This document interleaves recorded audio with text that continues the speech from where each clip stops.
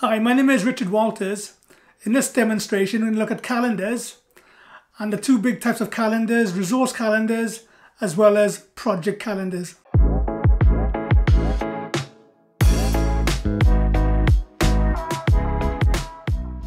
In this demonstration, we're going to look at project calendars as well as resource calendars. So both can be found in the project tab and then change working time. Now in this example, we're going to first affect the project standard calendar and we're adding a Christmas break. Now this particular project example is starting in December 2023, so it will be affected by the Christmas break. So we'll add the dates. So we're on the standard calendar in the exceptions area and I'll add in Christmas break. Put the dates in.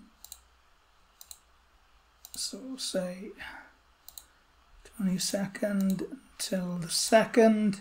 And if you click in a line below, you'll then see the shading of what you've just done. So you know that the dates have been affected. And there we go. Um, what will happen now in this case, the project duration won't change. That'll stay at 56 days. But the finish date will. That will move from Monday the 19th. Let's click OK to that. And that's now gone to the 29th of February. And the blue shows you all the tasks that are affected by that change. Now we're looking now in this example, we'll look at the resource calendar non-working. So same idea, change working time. And this time I'm going to put the HR manager on a training course for the HR induction. We're going to go to the same idea, but this time use a different calendar. So HR manager, exceptions. We'll say it's a mandatory health and safety course. And we'll say it's affecting HR induction, so it's somewhere between the 16th of February and the 29th of February. So I'll pick, the pick three dates between that.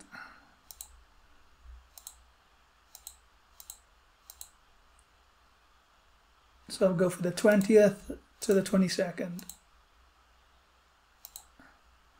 And I click below to see the change. And there's the change, the highlighted dates. What will happen in this case, the duration will change by three days and the finish date will change by three days. Okay to that. And there we go, the finish date's now gone into March. We've gone on to 59 days.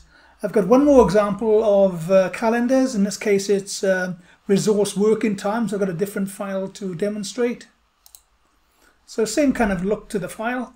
We're going to put the HR manager on here on part-time working because let's say the, the person has just returned from maternity leave and we want to ease the person back into work. So it's going to be part-time working and the person has already been allocated to the project full time at this point in time. So same idea, change working time. HR manager again. And this time work weeks. I'm going to change the uh, details for the work week. I'm going to say Monday to Friday. I'm holding my shift key down and clicking on Friday. I'm going to set these to specific work times and I'm going to take out the afternoon session. So now I click on the grey box next to the afternoon session and delete it. So we can now see that half the day has been taken away to a resource that's already been allocated. What you'll see shortly is the afternoon session will disappear from the calendar. And when I click OK, the duration will change uh, by a lot of days, as well as the uh, finish date will also change. So we'll now click OK. And there's the afternoon session gone. Click OK again. And now we can see the impact that that has changed to over 100 days and the finish date has gone quite substantially. But this now completes the training demonstration video on project calendars as well as resource calendars. This now completes the demonstration of calendars and resource calendars. See you in the next video.